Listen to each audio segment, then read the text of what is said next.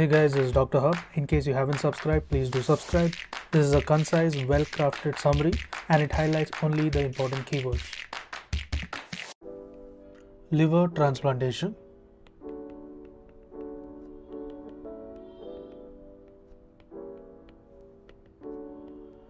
So, first is uh, let's look at some indications. The indication is first is what is the most common indication? Most common indication is nothing but the hepatitis C virus induced cirrhosis.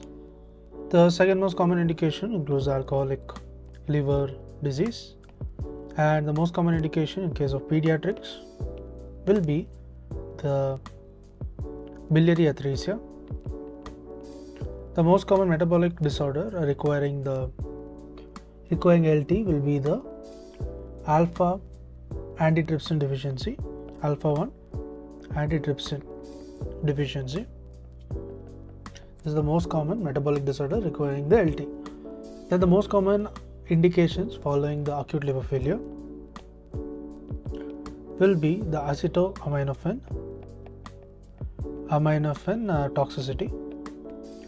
Now let's move on to the contraindications for the liver transplant.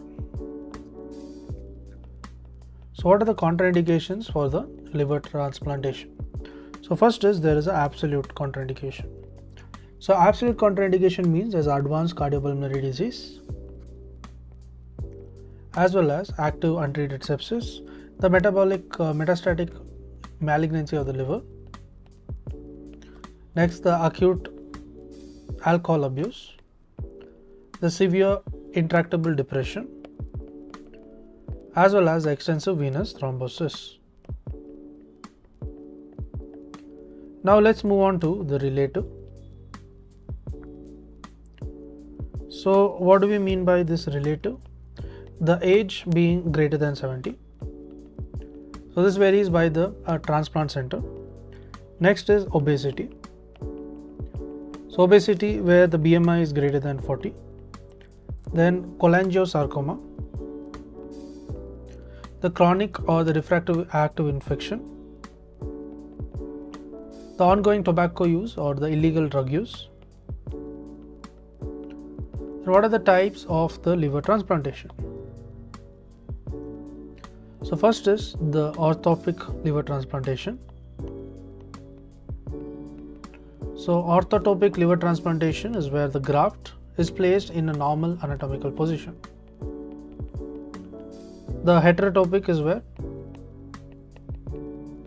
the graft is placed at an alternate site. The auxiliary is where the native liver remains in situ and a whole or a partial transplant is added.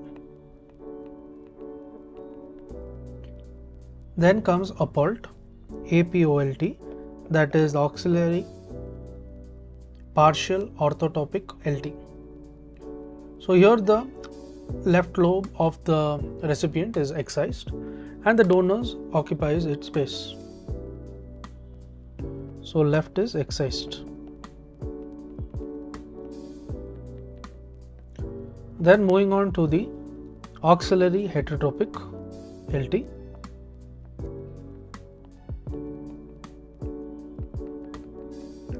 so here in auxiliary heterotopic LT the whole liver or lobe is uh, placed in the subhepatic space. So this is placed in the subhepatic space. Next is the piggyback the piggyback liver transplant. The piggyback liver transplant is where the ortho, orthotopic LT is preserved, preserving the IVC. Then the split LT is a cadaveric liver. Split LT is a cadaveric liver. It is divided and given into the two recipients. So there is two recipients that is the left lobe for a child and the right lobe for an adult.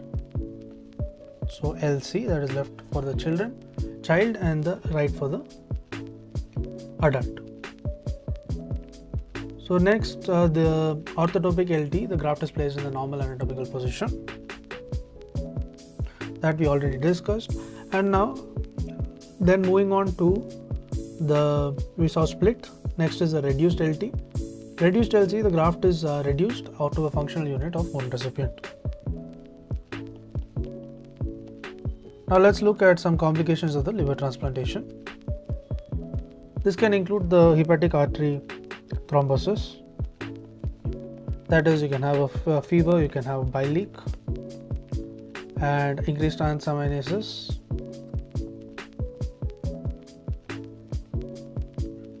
as well as the immediate trans transplantation. Next is the portal vein thrombosis. Portal vein thrombosis it occurs insidiously and there is no retransplant required.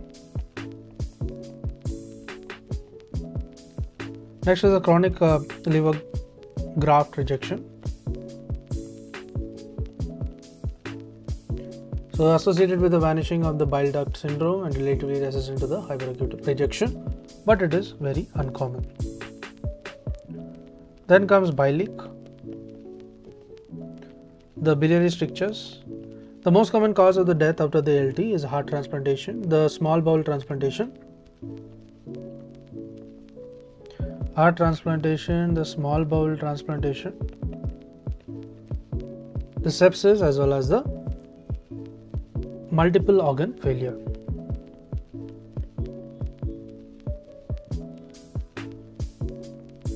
Next we move on to the something known as a MELD score.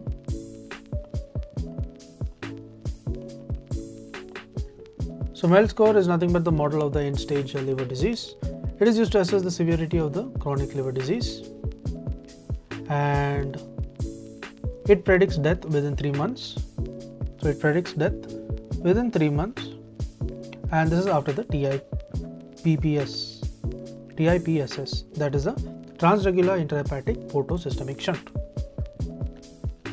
Transjugular intrahepatic portosystemic shunt. So it is utilized by the UNOS, the United Network for Organ Sharing, United Network of the Organ Sharing, and it is for prioritizing the liver allocation. The components it includes the creatinine, bilirubin, and the INR. So it is a CBI, that is a creat the bilirubin as well as the INR. So the MELD score uh, ranges between the 6 to 40 is the range of the scoring. Next we move on to, we saw the MELD score, now we'll move on to the PELD score. So what is meant by the PELD score? So PELD score means there is a pediatric end stage liver disease. So pediatric end stage liver disease. So this is uh, mainly used in case of children. And what are the components? The components is the NABIA. So it is NABIA the component. So PELD score it includes the nutrition age the bilirubin. So BI is for the bilirubin albumin as I for the INR to learn and grow daily like this please do subscribe